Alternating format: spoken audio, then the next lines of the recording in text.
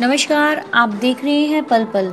हरियाणा के मुख्यमंत्री मनोहर लाल ने नई सरकार की दूसरी पारी की शुरुआत समाज हित के साथ मुख्य बिंदुओं पर फोकस करते हुए वरिष्ठ अधिकारियों के साथ हरियाणा सिविल सचिवालय की चौथी मंजिल स्थित मुख्य कमेटी कक्ष से जिला उपायुक्तों के साथ वीडियो कॉन्फ्रेंसिंग के साथ आरंभ की तथा आगामी 16 व 17 नवंबर को हरियाणा शिक्षा बोर्ड भिवानी द्वारा एस्टेट की परीक्षा नकल रहित तरीके से आयोजित करने के अधिकारियों को सुरक्षा के पुख्ता इन प्रबंध करने के निर्देश दिए।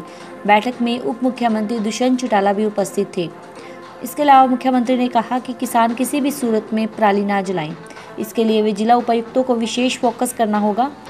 सर्वोच्च न्यायालय व राष्ट्रीय हरित ट्रिब्यूनल के भी दिशा निर्देशों की अनुपालना करते हुए हमें इस बात पर भी बल देना होगा कि व्यवस्था कैसे ठीक करनी है।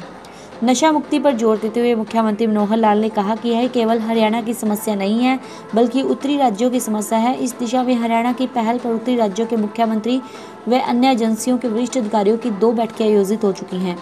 पंचकुला में नशा मुक्ति नियंत्रण का संयुक्त सचिवालय बनाया जा रहा है।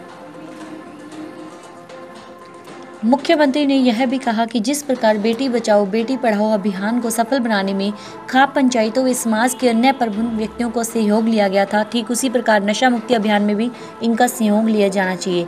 बैठक में मुख्यमंत्री ने कहा कि बढ़ती सड़क दुर्घटनाएँ भी एक चुनौती का विषय है। ट्रकों व अन्य वाहनों की ओवरलोडिंग भी इसका एक मुख्य कारण है और अधिकारियों को ओवरलोडिंग के चलान काटने से बचना नहीं चाहिए। और इसी के साथ देखते रहिए पल पल की एक खास खबर।